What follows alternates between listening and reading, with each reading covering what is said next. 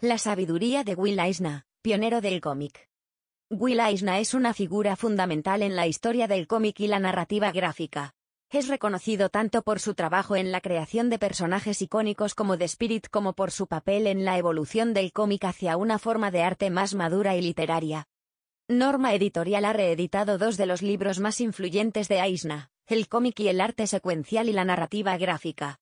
Estos textos son esenciales para cualquier persona interesada en la creación de cómics, ya que ofrecen una visión profunda de las técnicas y el pensamiento detrás de este medio.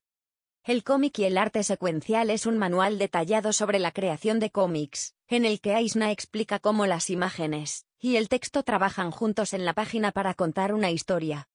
Es una exploración de los elementos visuales del cómic, incluyendo el diseño de la página, la composición de paneles, el uso del espacio y el tiempo, y cómo estos elementos se combinan para formar un todo cohesivo. Se enfoca tanto en los aspectos técnicos como la capacidad del cómic para transmitir emociones y construir una narrativa compleja. En la narración gráfica, Aisna amplía su análisis para abarcar una visión más amplia de la narración en el cómic. Aquí, explora cómo los cómics pueden abordar temas profundos, y presentar historias que son tan ricas y complejas como cualquier novela o película. El artista argumenta que el cómic es un medio único con su propio lenguaje y potencial narrativo, capaz de comunicar ideas complejas de una manera accesible y visualmente atractiva. Aisna no solo fue un teórico, sino también un innovador en la práctica. Su personaje de Spirit, creado en 1940, se destacó no solo por sus historias entretenidas y su estilo gráfico distintivo, sino también por la forma en que exploró el potencial del medio del cómic.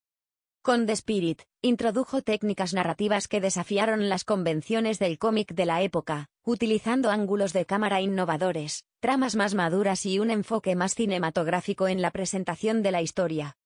Además, fue pionero en la adaptación de clásicos de la literatura a la novela gráfica, mostrando cómo las grandes obras literarias pueden ser reinterpretadas y representadas de una manera visualmente dinámica.